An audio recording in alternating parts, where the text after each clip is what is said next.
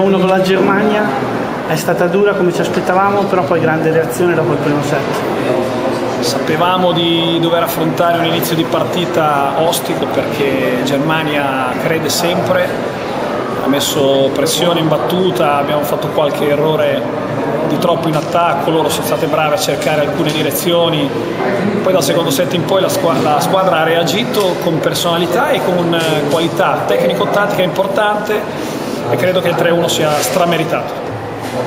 Ormai quando parti con una formazione devi sempre arrivo, cambiare, non, non, finisci con quella.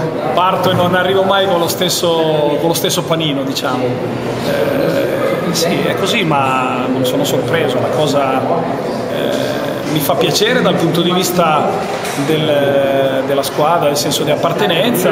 Oggi qualcuno ha dato un po' di difficoltà, ma lo era, era stato decisivo nelle partite precedenti, lo sarà ancora, quindi la squadra è quella che conta. Domani la Dominicana per finire col massimo di punti e poi guardare avanti.